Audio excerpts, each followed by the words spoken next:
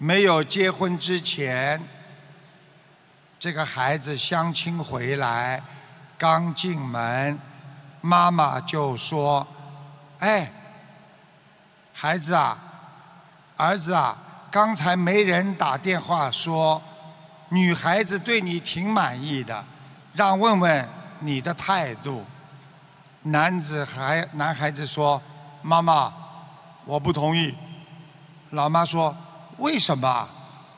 这个男孩子说女方收入啊比我高我怕以后在一起会有压力在家里没有地位。这时候老爸在边上憋不住突然给他儿子一个巴掌说你这个傻瓜我挣的这么多在咱家里你看过我有地位吗？